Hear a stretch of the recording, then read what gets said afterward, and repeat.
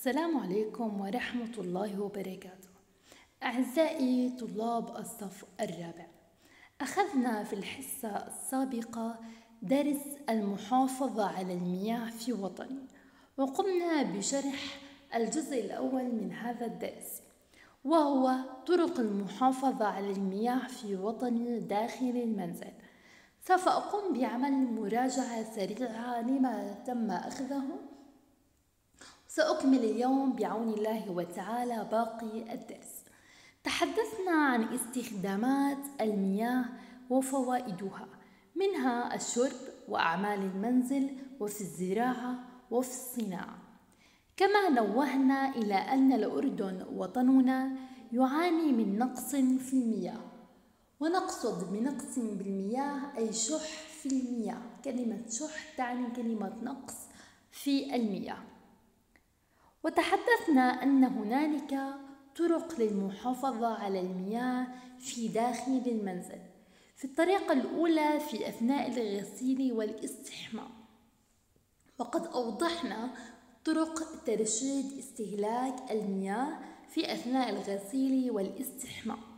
وقد ذكرنا منها استخدام كوب ماء في أثناء تنظيف الأسنان بدلا من فتح الصنبور ثانيا فتح الصنبور وإغلاقه في أثناء غسل الوجه والوضوء.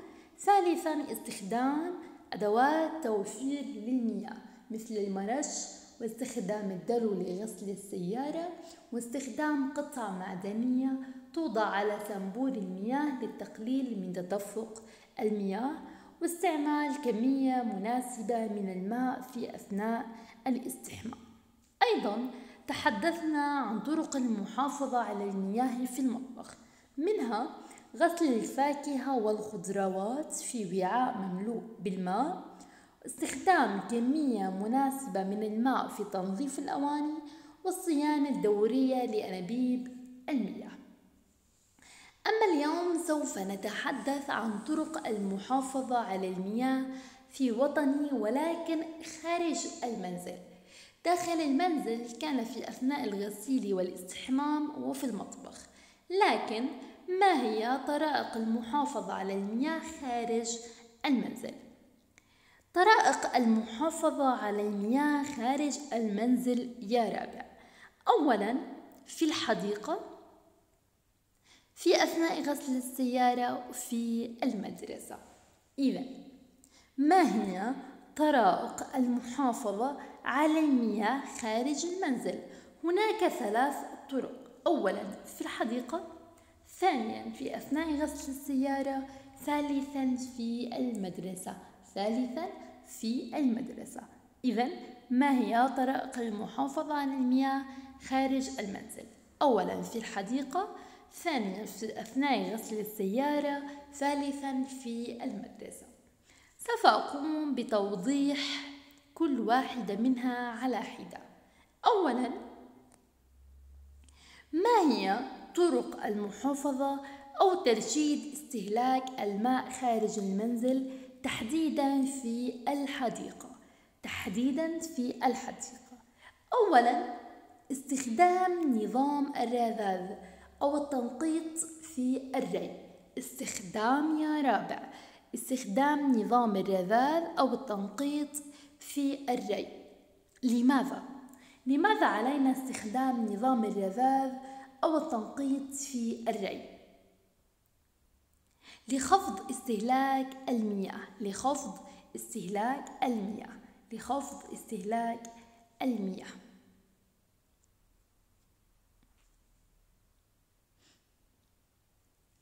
إذا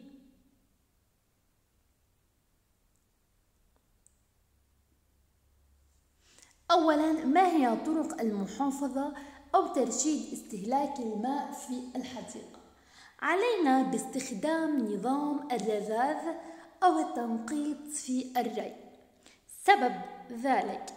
سوف أطرح عليكم سبب. أعلل نستخدم نظام الرذاذ أو التنقيط في الري لخفض استهلاك المياه لخفض استهلاك المياه. إذا أعيد. علل هنا مهم. استخدام نظام الرذاذ أو التنقيط في الري. لماذا نستخدم نظام الرذاذ أو التنقيط في الري؟ لخفض استهلاك المياه. لخفض استهلاك المياه. ثانيا عدم ري المزروعات وقت الظهيرة. عدم ري المزروعات وقت الظهيرة. عدم ري المزروعات وقت الظهيرة لماذا؟ لتجنب زيادة نسبة التبخر. لتجنب زيادة نسبة التبخر. إذا لا نقوم بري المزروعات يا رابع وقت الظهيرة. وقت عندما تكون أشعة الشمس منتصفة عمودية لماذا؟ حتى نتجنب زيادة نسبة التبخر وبالتالي تموت المزروعات. إذا أولا ما هي طرق المحافظة على المياه خارج المنزل؟ تحديدا في الحديقة. أولا أستخدم نظام الرذاذ أو التنقيط في الري والسبب لخفض استهلاك المياه. حتى أخفض من كمية المياه المستهلكة. ثانيا عدم ري المزروعات وقت الظهيرة. لماذا لا نقوم بري المزروعات وقت الظهيرة؟ وقت الظهيرة تكون أشعة الشمس قوية وبالتالي أشعة الشمس بتزيد تزيد من نسبة تبخر المياه. فإننا نعمل على عدم ري المزروعات وقت الظهيرة لتجنب زيادة نسبة تبخر المياه النقطة الثالثة يا رابع زراعة نباتات منزلية تستهلك كميات قليلة المياه. زراعة نباتات منزلية تستهلك كميات مياه قليلة. أقوم بزراعة نباتات منزلية أي في المنزل في الحديقة. لأننا نحن نتحدث عن طرق المحافظة على المياه خارج المنزل في الحديقة. نقوم بزراعة نباتات هاي نباتات منزلية. بمعنى نباتات تعيش في حديقة المنزل. هذه النباتات تستهلك كميات قليلة من المياه.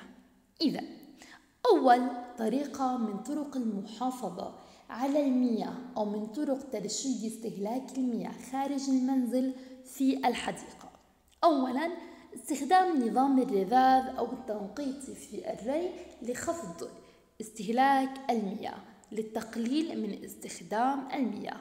عدم ري المزروعات وقت الظهيرة لتجنب زيادة نسبة التبخر وزراعة نباتات منزلية في حديقة المنزل تستهلك كميات مياه قليلة. أحسنت الطريقة الأخرى يا رابع. ما هي طرق المحافظة أو ترشيد استهلاك الماء خارج المنزل تحديدا في أثناء غسل السيارة في أثناء غسل السيارة في أثناء غسل السيارة؟ كيف نحافظ على المياه أثناء غسيلنا للسيارة؟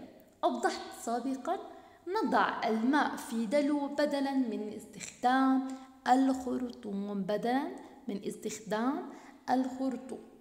إذا ثاني طريقة من طرائق المحافظة على المياه خارج المنزل في أثناء غسيل السيارة. ما هي الطريقة المتبعة للحفاظ على المياه في أثناء غسيل السيارة؟ وضع الماء في دلو بدلا من استخدام خرطوم المياه. أحسنت. أما الطريقة الأخرى من طرائق المحافظة على المياه خارج المنزل يا رابع هي في المدرسة في المدرسة في المدرسة في المدرسة. ما هي طرق المحافظة أو ترشيد استهلاك الماء خارج المنزل وتحديدا في المدرسة تحديدا في المدرسة. أولا عدم استخدام الماء وسيلة للتسلية أو اللهو. لا نستخدم الماء لا نستخدم الماء كوسيلة للعب أو للتسلية أو للهو. بالتالي نهدر كميات كبيرة منه كاللعب في البلالين المملوءة بالمياه. ثانيا إبلاغ إدارة المدرسة في حال وجود تسرب للمياه في حال وجود تسرب في المياه. إذا الطريقة الأخرى يا رابع من طرق المحافظة على المياه خارج المنزل في المدرسة. كيف نحافظ على المياه خارج المنزل تحديدا في المدرسة؟ عدم استخدام الماء كوسيلة للتسلية أو اللهو اثنان إبلاغ إدارة المدرسة في حال وجود تسرب للمياه. إذا يا رابع سأقوم بتلخيص الدرس سريعا. من طرائق المحافظة على المياه في وطني طريقتين. إما أن نحافظ على المياه في وطني داخل المنزل أو نحافظ على المياه في وطني خارج المنزل. هي طرائق المحافظة على المياه داخل المنزل في أثناء الغسيل والاستحمام وفي المطبخ؟ أما ما هي طرائق المحافظة على المياه خارج المنزل؟ أولا في الحديقة ثانيا في أثناء غسل السيارة ثالثا في المدرسة. أما في الحديقة من طرق المحافظة على المياه فيها استخدام نظام الرذاذ أو التنقيط في الري. مهم السبب. لماذا؟ لخفض استهلاك المياه. ثانيا عدم ري المزروعات وقت الظهيرة والسبب لتجنب زيادة نسبة التبخر.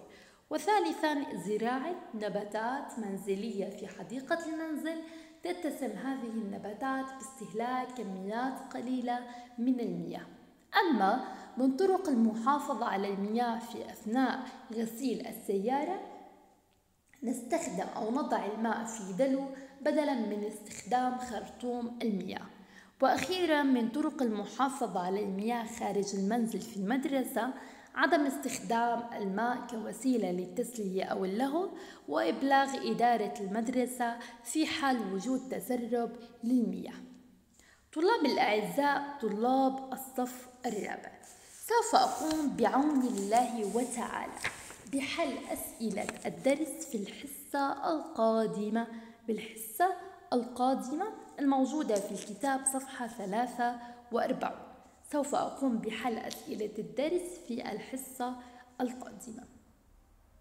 وسوف أقوم بعمل امتحان قصير في الدروس التي تم أخذها بالإضافة إلى حل الأسئلة. ألقاكم بعون الله وتعالى الحصة القادمة والسلام عليكم ورحمة الله وبركاته.